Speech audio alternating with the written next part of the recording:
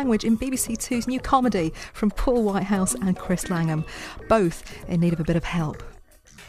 And bearing in mind what you were saying last week about letting go, you know, um, I tried to release her. Well, it's very. Yeah, I actually found it very difficult to. Well, it's very You know, hard. to. Um, I yeah, so I killed her, yeah. Well, what? I mean, I know it's not a perfect solution, and it's not what either of us would have wanted as a couple. You killed her? yeah. Right. Do you think. That's very bad. No, I thought you might say that. Well, it is. What are you going to do now? Well, You hadn't I- really thought this through, had you? No, I had. So what are you going to do now? Well, obviously, I've got to Yes. um, dispose of the body. No. Well, I can't just leave it there. You should go to the police. Are you mad? I've just killed someone. Well, exactly. Well, the police are the last people I want to go to. You've, you put me in a very difficult position. This is a serious crime. This is not covered by client confidentiality. What do you mean? Well, what I mean is I'm going to have to tell someone. I'm going to have to tell the police. Right. Sorry. But if you do that, Right. I'll kill you. No, I can keep a secret.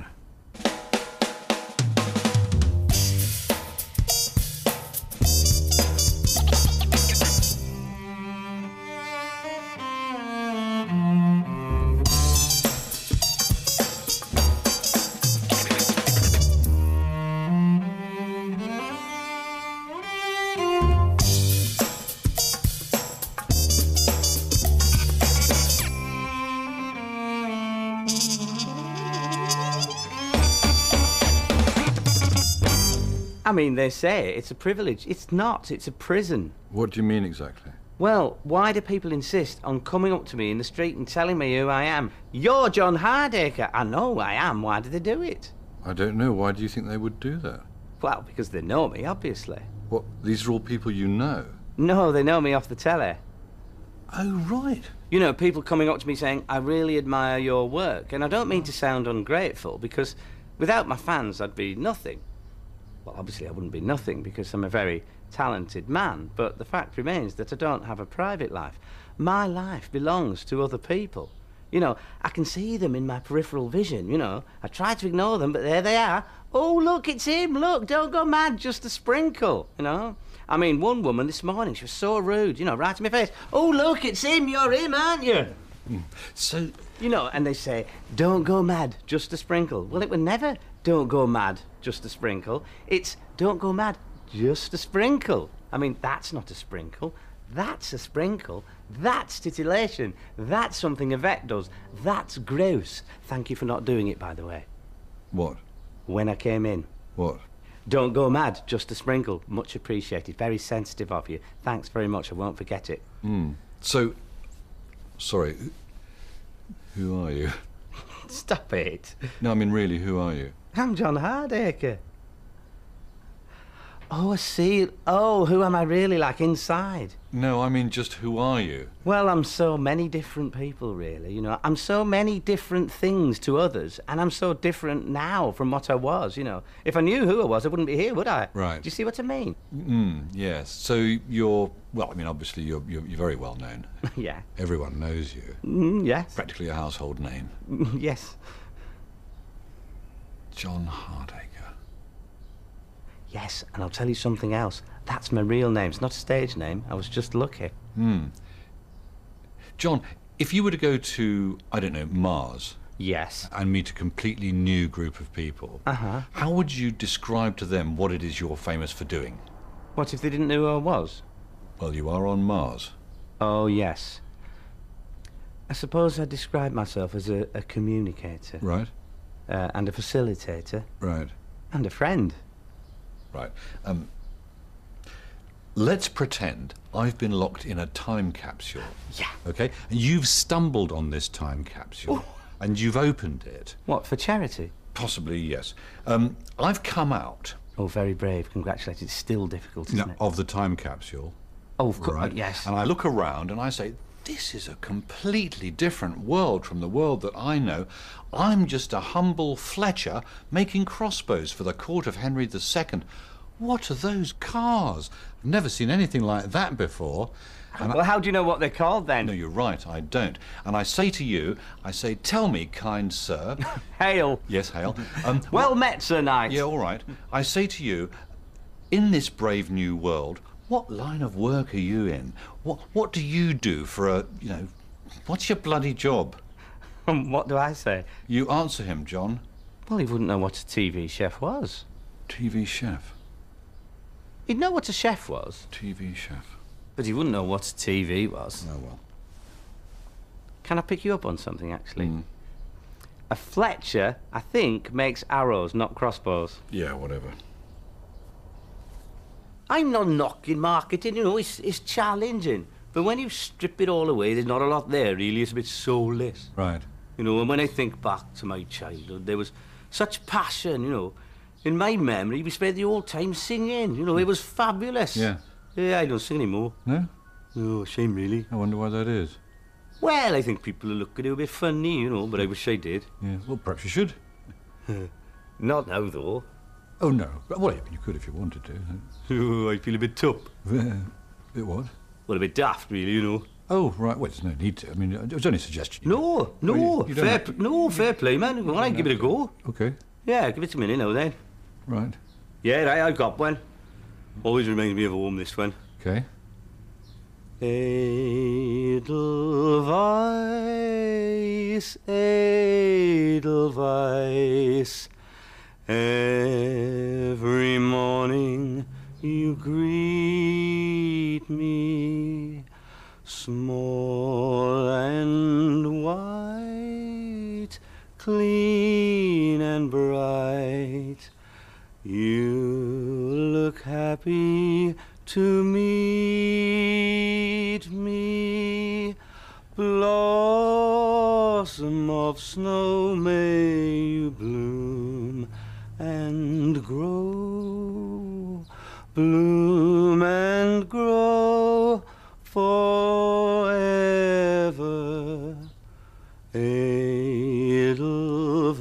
Edelweiss, Edelweiss,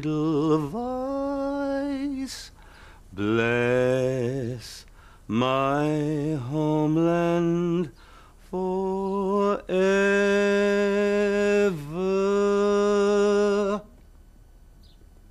Very nice. Oh, that's better. I tell you what, that's like having a really good dump. And I'm not a great fan of this hot weather, so I was having a difficult day as it was. And I picked up this fare in Jermyn Street, just outside Trumpers. Did you know that that used to be Edward Heath's barbers? No, no, I didn't. Ah, well, you see, Peter, I learned from you and you learned from me. Y- yes, it's a two-way street. Oh, yes, very good, yes. Anyway, I picked up this fellow, very nicely turned out gentleman. He got in the back of the cab, gave me an address in Barnes. Well, I'd only got as far as Buckingham Palace Road. I'd stopped at a red light, and blow me if he didn't jump out of the cab and leg it down the road. He did a runner. Oh, God, how depressing. That's not the half of it, you know. I turned round and I thought, that smell. And do you know what? He'd done his business on the back seat. Yes, a thing. You know, outrageous. A man like that with a nice suit and everything. Well, obviously I'm no stranger to that kind of thing, what with Rose and her condition, but it's a far cry, isn't it? You know, your wife's from a stranger's. Oh, you must have been bloody furious. Oh, I was livid, you know. I mean, in fact, I was incensed. So I drove like a madman down to Bow Street, although God knows why, because the police, they're useless, aren't they? Well, I stormed in there and I went up to the desk sergeant. I grabbed him by the lapels, Lester, I know him quite well, and I dragged him out to the cab. I opened the back seat and I, I pointed at the, uh, the article, you know, and I said, There you are, what are you going to do about that? And do you know what he said? No? He said, Well, Monty, in 10 days, if no one's claimed it, it's yours. yes. No. Oh, straight You're up. kidding. No, as God is my witness. That's very funny. Oh, well, you know, I suppose if something came out of it, at least Lester showed me the funny side, you know. Yeah, well, it certainly made me laugh. But I can't help thinking it would have been a lot funnier if it happened to someone else. You've had a very interesting life, Louis. Hey, would you like to hear my story? Yes, I'd like that very much. Would you mind if I expressed it in the form of dance? Dance? I'd find that very liberating. No, not at all. I'd like that. Right. Be fine.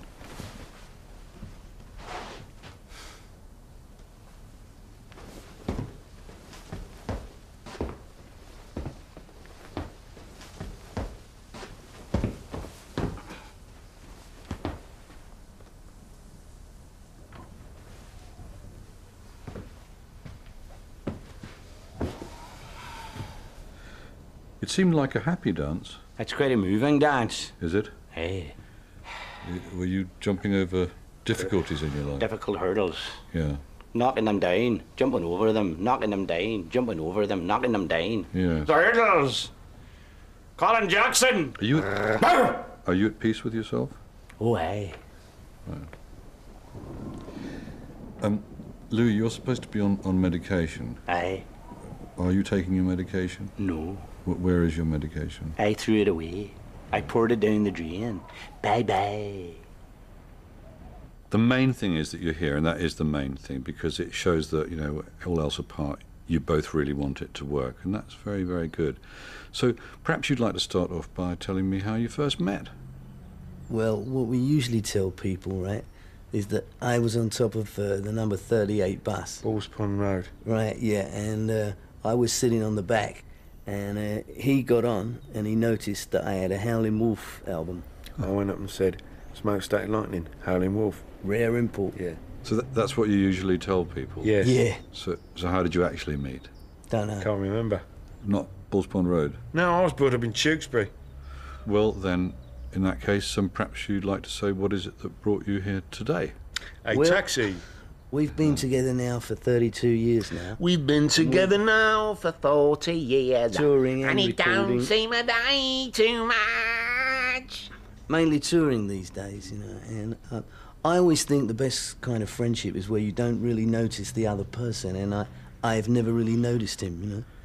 Um, it's like, you know, we're both part of each other's landscape. You didn't notice me? No, I mean, like, you know, you've never been any bother. Oh, that's good to know.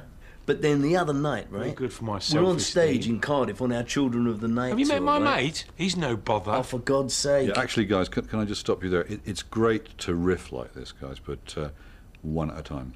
You know. So who wants to go first? Okay, do you want to? I don't care. Oh, come on. Don't take everything the wrong way. All right, do you want to? No, you carry on. All right, we've been on tour I don't recently. get it wrong. But we had to cancel Old the last few days. Look, do you want to do No. this? So, No. So we've been on tour, right? And uh, last week we had a, a bit of unpleasantness. A bit of unpleasantness. And our manager said that if we didn't get help, a bit we'd of have to call it a day after 32 hit me. years on the road. He hit me full in the face with a mic stand. Right. Okay. Can I just stop you there? There's something that I'd like to say to both of you, really. Thank you for the music. I I first started listening to you guys when I was at university, and I absolutely adored your stuff. Uh, really, I, I was a bit, a bit of a no qualms bore, to be honest, because I, I, I expect I, I know stuff about the qualms that even you guys don't know. And, and for a period of time, Denny, I actually kind of modelled myself on you. Anyway, Denny, you hit Les. Why? Well, we were on stage, right? And we were in the middle of Destiny Winked. Ah, And uh, he's just about to start his solo, and I Right. thought, he's going to pull that face, you know? face? that face that you pull, you know? And I thought, I've been watching that face for 32 years and I've got to fucking smash it, you know? And I picked up the mic stand and I got him whack right on the bridge of the nose. What face? That face you do, you know? That's bollocks. No, you do, you do. Hey, no, Les, Les, get him off me! Les, sit down. Just, just sit down. Sorry. You all right? Yeah, it's just silly, you know? Sorry. It's embarrassing. Okay. I mean, he's a really nice man, but he's very irritating. Yeah. He's very irritating indeed. So, Les, Denny hit you around the face with a microphone stand. Yep. How do you feel about that? Well, That's not important. No, no, actually, it is. look, look, our manager said, Max. right, that- Max, yeah, Mad Max, I call him. yeah. Do you know why? No. Because he's mad. Right. Do you see? Yes, I think so. Mad Max. Mad Max. Yep. Mad Max. Mad Max. Yeah, actually, you are quite irritating. Okay. Don't go mad, just a I sprinkle. I feel quite uncomfortable doing it. Come on, give it a go.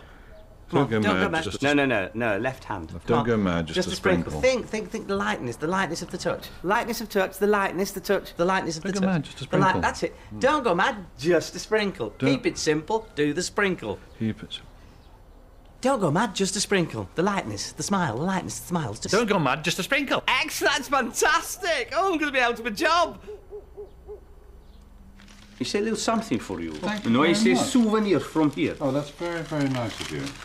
Yes. My wife has asked me to give it to you. What is it? It's a little bit of salted fish. Oh, right. Yeah. Yeah, because where I come from, right, it's traditional to give salted fish at Easter. It, it's um, quite strong, isn't it? Yeah, it's uh, what you call it, the mallet. That's it. Is it? Yeah. You don't have to eat it straight away, right? No, no. But don't leave it for more than about six or seven months. No, no, I, I, I won't. Um, I um, I, I, I didn't get anything for you. That's okay. Right. You know, listen, doctor, I've, I've had that dream again. Oh, right. Exactly the same. No, exactly, no, right? Because this time, when the donkey is looking around at me from the driving seat, right? He's smiling. Is he? Yeah, the mm. donkey is smiling. Right. But I see a frightening smile. You know what I mean? A frightening smile? Yes. Yes. Like this. Oh, yes. You know? Mm. No, that's that's quite frightening. Yes. So what, what do you think that is meaning? Well, it could it it could mean any number of things, really. Have you been particularly worried about anything uh, at the moment? Not really, no. How are things at home? Yeah, it's pretty good, you know, because since the judge, in her infinite wisdom, is making me come here, I've really been trying hard not to hurt no one, right? And for three weeks now, I've not laid a finger on anyone. Actually, I'm going to put this somewhere else. And it's like you say, right, doctor? yeah. If I can put my head on the pillow Yes. without having kicked someone or punched, right? I can hear you. Or gouge, right? Anytime I can lay my head on the pillow without having smashed no one to pieces, right? Then I'm a winner. But I have to say that Yeah. I did hit my wife the other day. Oh, did you? Oh dear. She was very surprised because I've been so good lately, mm-hmm. right? And what with me being so gentle, when it happened, she didn't know what hit her. N- well, she did. Yeah, she did. It was you. Yeah, it was me. Yeah. Yeah. But I have to say, Doctor, right, that this time she really was asking for it. Well, she didn't actually say, "Johnny, please hit me," did she? No, No. no. But you know what it's like when you've been married for a long time? Yeah. You get to read the signs, right? Yeah. And she was giving me a look, right? That she knows is going to make me give her a quick slap. So there you go, and that's that. Yes, but you see, Johnny, that is the problem. But listen, right? Because where I grew up, right, in my village and also in my family, it's not unusual for a man to hit a woman. Obviously, as long as they're married. Yeah. It's like my father always used to say, right? What do you say to a woman with two black eyes? I don't know. Nothing. You already told her twice. but that, you know, that was my father. He was a very light-hearted man. Yes, he sounds like a, a lot of fun. But you know, doctor, I, I know that is wrong to hit my wife. And right? it is. Yes. But you know, sometimes I- I look around at this world in which we live in, right? Mm. And I'm in such pain, you know, because of all the cruelties and the injustices, right? And man's inhumanities to man. right? Hmm. It's like a burden, Think of what? a burden, A burden? a, Yes. a burden. Yes. And when I hit my wife, for a few moments the burden is lifted, right? Hmm. And I'm calm, and I can relax, and then I can sleep. Well, that that's, that's good. But it's no, no, No. no, because then along is coming the donkey. Oh, yes, the smiling donkey. You know, it's like a vicious circle. Is it? It's like a catch-29 situation. Yes. Catch 22. No, it's worse than that. So, what I, what I like to do at this point is to ask couples if they would to turn and face each other. If, you, if you'd like to do that. Okay. Right. Oh dear. What? And then what I'd like you to do. Don't look at me like that. I can't help it. You're so lovely. Fuck off. No, that's good. That's good actually, because what I'd like you to do is to tell the other person three things you really liked about them when you first got together. Three. Yeah, three positive things Christ. you really like about the other person. Who, who wants to go first? Denny, why don't you go first?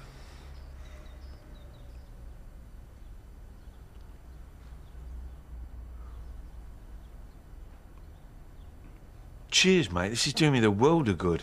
Maybe you should split up. I've always re- really loved your smile. What? I've always thought you had a really, you know, great smile. It's really attractive. That's one. And uh, although you, you know, he's primarily known as a guitarist, I think you've probably got one of the best rock voices on the planet. And and when my daughter had to be rushed to hospital with an overdose, and we were on stage, and uh, he dedicated a song to her. Stone bracket. I'll never forget that.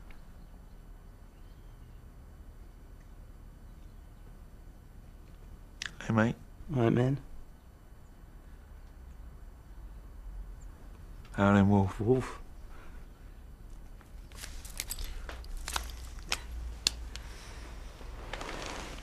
Could you sign this?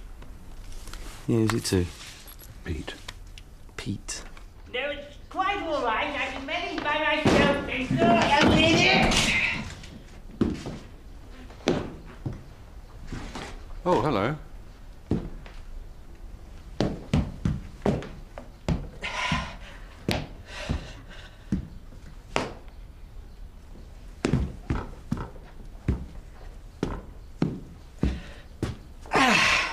Made it. Thank goodness. Clement? It's tomorrow. Is it? Already? No, no, your appointment. It's, it's not today, it's tomorrow. Oh, dash. Yes. I'm so sorry. Uh, well, I just have to come back then. Yes, I, I'm Yes. afraid you will. I've got someone else coming in a minute. All right, come on, move your legs. Come on. See, have I ever told you that you remind me very much of my first wife? Really?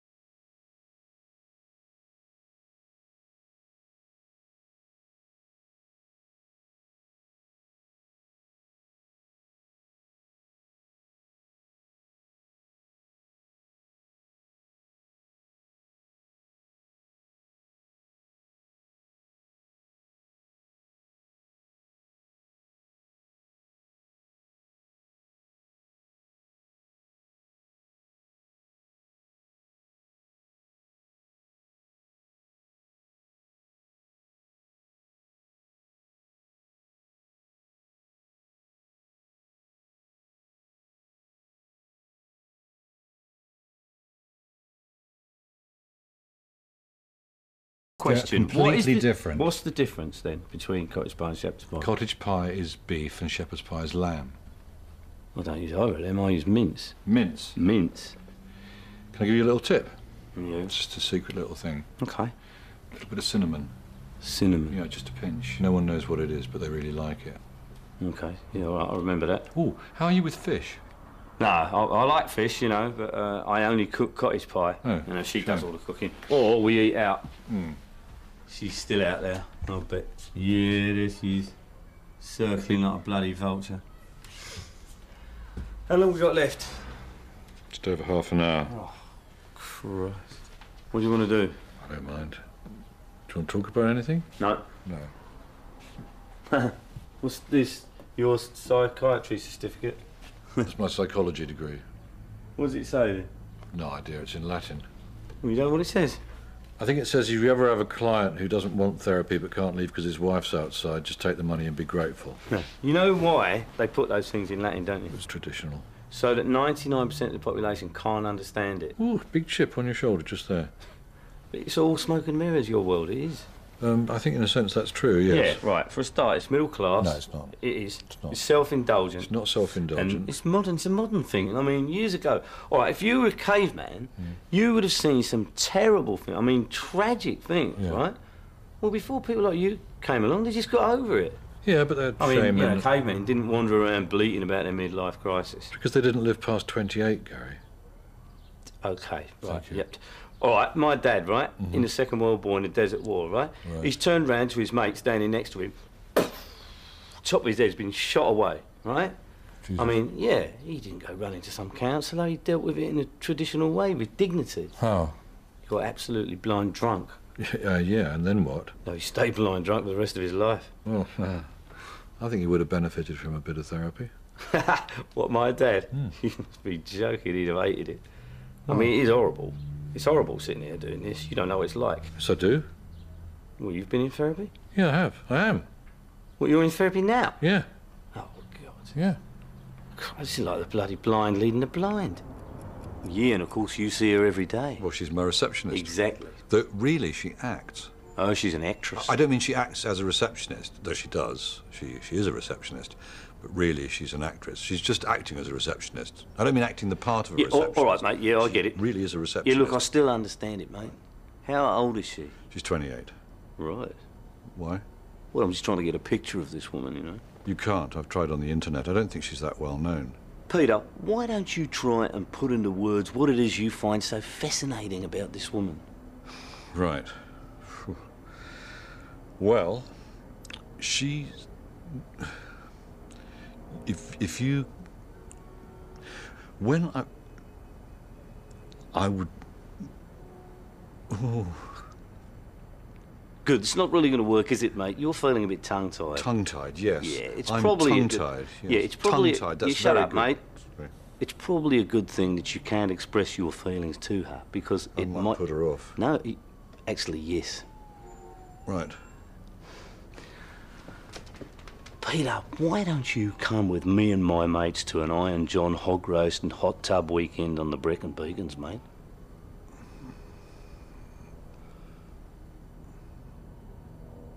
I've never told anyone that before.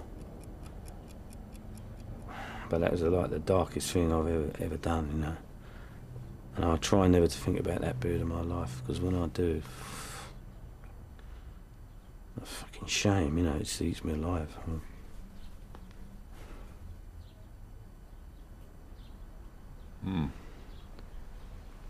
Because I feel like I'm the only one, you know.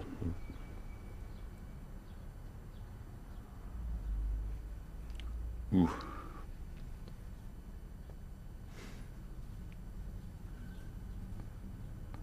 Uh, um. Oh.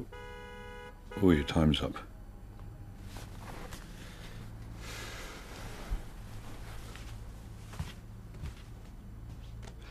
Have you seen the old man in the closed down market, kicking up the paper with his worn out shoes? And Mhm. at his side, yesterday's paper with yesterday's news. So how can you tell? Oh, go on, man, that's great. How can you tell me you're lonely and say to me that the sun don't shine? Uh, let me take you by the hand and lead you through the streets of London. I'll show you something to make you change your mind. That's brilliant. Go on, man. Lovely. You want to hear this? Once I built a tower. Yeah, I haven't got very long, actually.